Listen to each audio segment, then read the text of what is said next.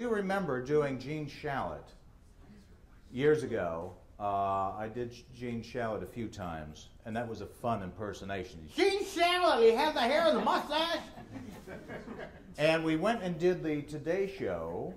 Um, uh, one time we went to New York, a few of us, and we, we went into the, and now they're setting us up and giving us chairs. And they sat Catherine uh, O'Hara beside Gene Shalit, and they put me in a chair, and Gene Shalit was looking around saying, Wait a minute, wait a minute. Shouldn't the person who does me be sitting beside me? and I thought that was kind of a great compliment, you know?